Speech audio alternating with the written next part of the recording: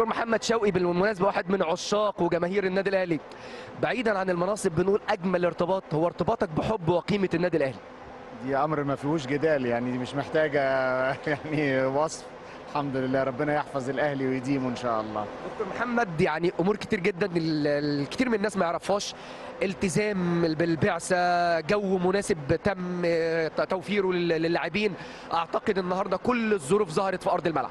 الحقيقة المرة دي الحمد لله لعيبة النادي الأهلي دائما ملتزمين بس الحمد لله المرة دي كانت ال- الأمور هادية جدا. الفندق ما فيهوش زيارات حاولنا بقدر المستطاع وبرضه لازم نشكر ال- القائمين على الفندق لأنهم ساعدونا جدا جدا.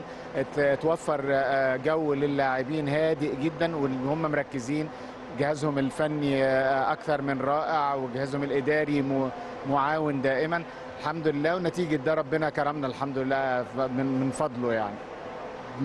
بتكلم مع معالي الوزير العمري فاروق بقول إن النادي الأهلي دايما بيدي المثل وبيدي القدوة على الرغم من وجود نائب رئيس مجلس إدارة النادي الأهلي لكن دايما بيقدم رئيس البعثة. أعتقد بتدونا رسائل مهمة جدا.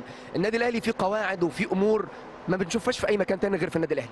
إحنا الحمد لله في النادي الأهلي ما نعرفش القصة دي خالص. وال- والوزير العمري راجل آه، محترم بي- بيعرف الأمور الإدارية الصحيحة واللوائح وكلام من ده. إحنا ما عندناش فروقات بيننا وبين بعض ما عندناش مين يعمل إيه وإحنا كلنا واحد كلنا بنشتغل للنادي الأهلي وبنحب النادي الأهلي وكلنا بنغير من بعض كل واحد قدر حبه للنادي الأهلي قد إيه.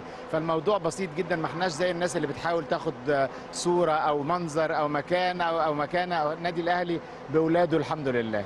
كابتن الخطيب يعني أنا عارف فاتح خطوط اتصال على مدار ال 24 ساعة بيتابع بيتصل بالدكتور محمد شوقي. كابتن محمود لو كان موجود كان يبقى أريح يعني هو بي بي بي بيتابع كل تفصيلة قد كده كل نص دقيقة ما أقدرش أقول كل دقيقة. فربنا يحفظه ويحفظ النادي الأهلي ودائما إن شاء الله في انتصارات. بشكرك يا دكتور ودايما في مزيد من الانتصارات بإذن الله. اللي شاكر ربنا يديم علينا فضله إن شاء الله. شكرا جدا